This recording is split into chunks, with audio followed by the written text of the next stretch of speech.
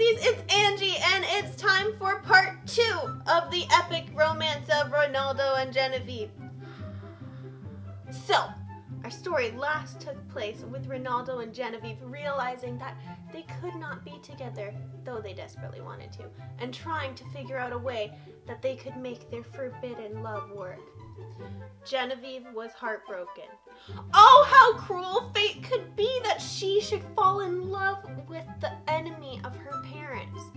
Genevieve was distraught, and she had no one that she could talk about her heartache with. Well, almost no one.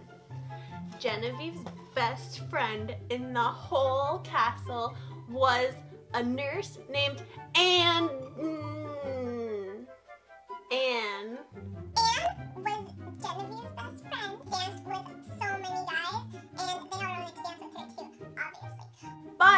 What Genevieve didn't know is that Anne totally saw her kissing and flirting with the prince with their masks off.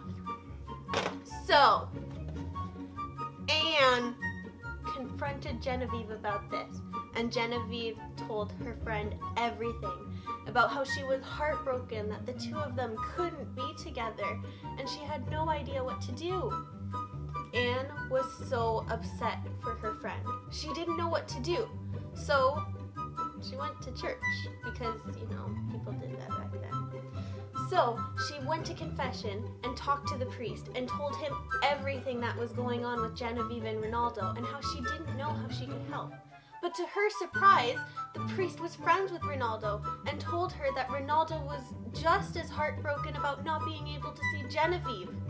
It's so cute! So, Anne and the priest decided to come up with a plan.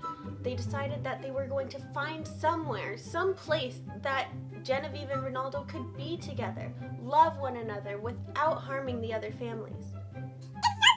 And that's all for today, pansies. Don't short stories suck? I guess you'll just have to watch my next video to see how it ends. Don't worry, it has a happy ending. Or does it?